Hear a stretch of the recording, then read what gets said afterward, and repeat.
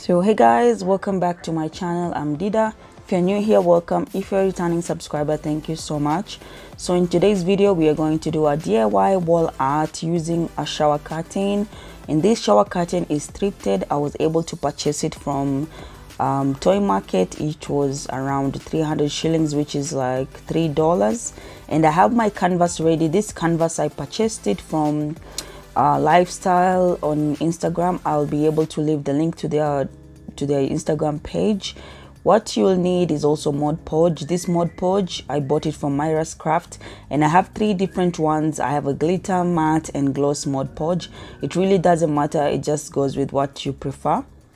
And another thing you will need is some brushes and some and the sponge roller and this sponge um, thing that you use to dab the glue um, when you're doing uh, your DIY so I purchased this from Office Mart. You can find them at your center.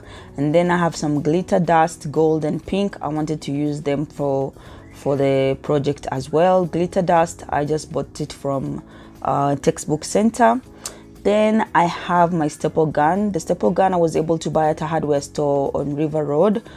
I believe it was around 500 shillings and it it came with the staples, if not five, between, like it was less than 1000. So it comes with the staples, not the normal staples for your, you know, the office staple, but this is what um, is right for your staple gun. Then I purchased this glittery uh, peel and stick stuff from House of Leather and they were around uh, 150 bob and then I was able to purchase some gold leaf. These ones I purchased them from AliExpress. I will leave a link in the description box so you can shop easily. It's actually affordable to shop from outside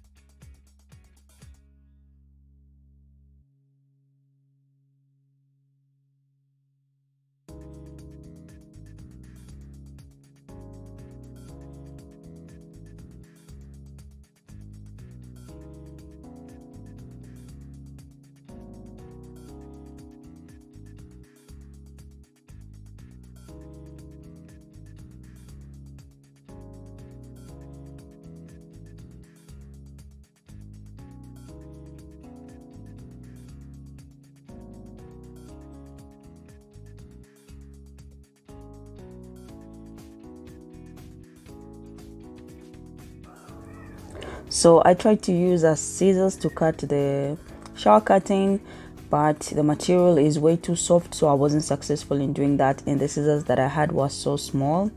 So I ended up using a normal razor and Kiswahili wembe. So I ended up ended up using a razor and um, I think it's it's a better option than using scissors because it was it was very easy and so fast. So i was just cutting out the excess uh, material that i didn't need.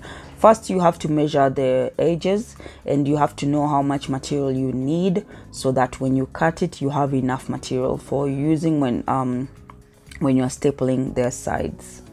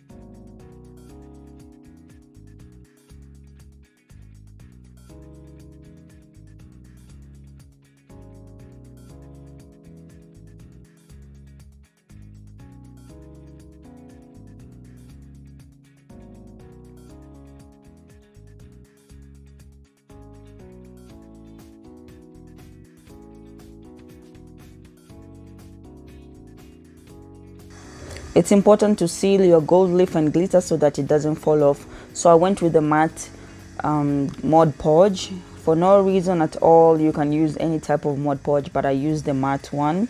And i'm just going to seal all the parts where i put the gold leaf and glitter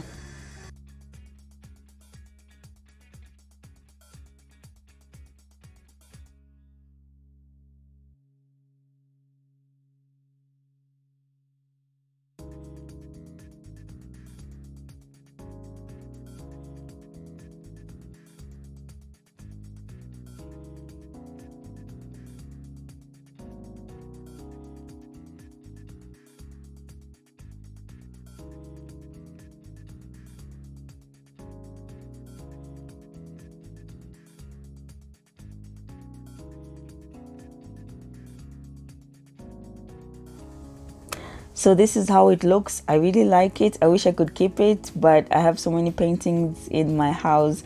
I think i'll just give this out. Um, i think it came out really nicely and you use it in your living room or your bedroom um, to decorate to make your space you know pop. So thank you so much for watching this video. Don't forget to like subscribe and give this video a thumbs up share and also check out my instagram at home decor by dida and i'll see you guys next time